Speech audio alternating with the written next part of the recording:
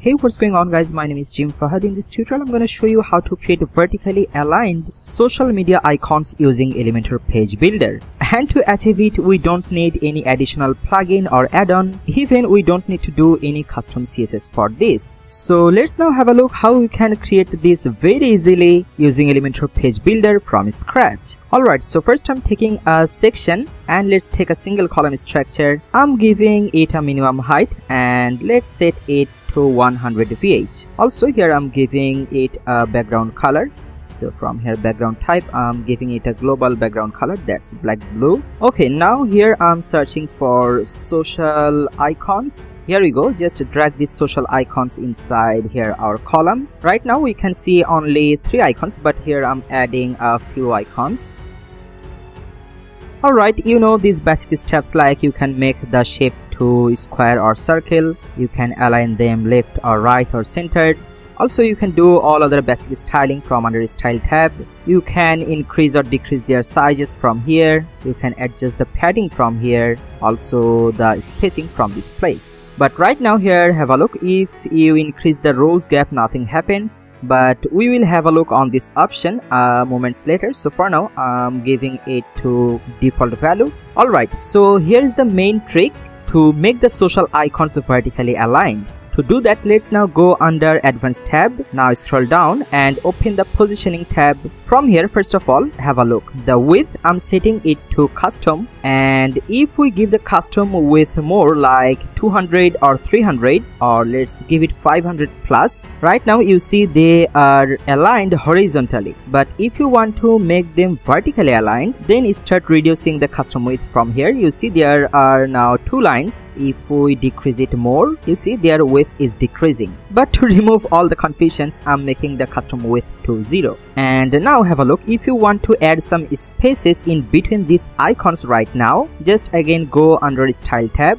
And from here, if you now increase the rows gap from here, you see the space is increasing in between the icons. Alright. Now again go under Advanced tab because I wanna show you something that's related to positioning. So again open the positioning and from here let's open the position and I'm making it to absolute. So from here you can adjust their horizontal or vertical orientation. So now if we want to add some space at the left of these icons, we need to drag this offset because here you see it's the horizontal orientation and it will start from left because the settings is set to left. So if we now increase the offset, you see there is a space adding at the left. Also, if you select the horizontal orientation to right, and then if we start increasing the offset, you see the offset is increasing from the right side. Alright, so for now, I'm keeping it like this. And also you can adjust the vertical orientation from this place. By default, it's from top, but you can adjust it from bottom. So here I'm selecting it bottom and then you can adjust the offset like this. You can also adjust the vertical orientation from top. So you can just increase the offset from here or decrease the offset from this place. But I want to keep it at the middle of the page. So here I'm decreasing the offset a bit more. So for me it looks perfect.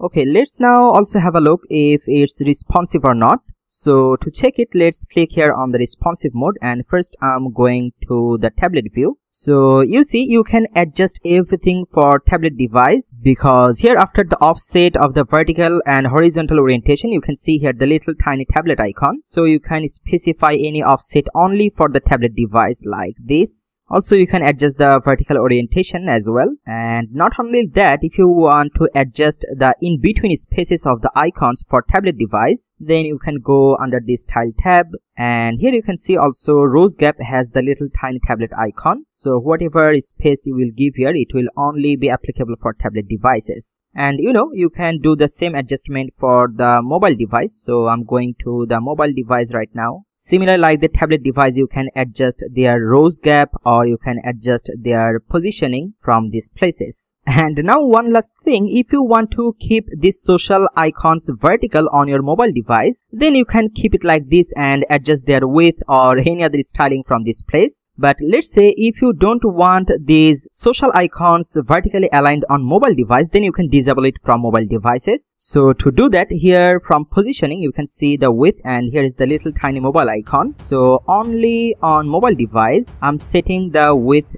to full width 100 percent also from here horizontal orientation i'm setting it to 0 for mobile device. Also the vertical orientation to 0 for mobile devices. Also you can adjust their size from under style tab for mobile devices. So here for mobile device i'm setting the size to 24 so they can adjust within one line. Also here i'm reducing their padding. Also i'm reducing their spaces from here. Alright so only on mobile device the icons are now horizontal. On the tablet view they are now vertical also on the desktop view we have set them to vertically aligned. So that's basically it. When you are happy with it, just click on this green update button to save your work. I hope you have learned something new today. If you like it, please give this video a big thumb up and don't forget to subscribe this YouTube channel. Also press on that bell icon to get notified before anyone whenever I will upload a new video on this YouTube channel. And if you want me to help you on your WordPress project or Elementor project, then you can contact me through my website that's I will try my best to help you personally. Once again, thank you so much for watching this tutorial. I will see you on the next video. For now, bye bye.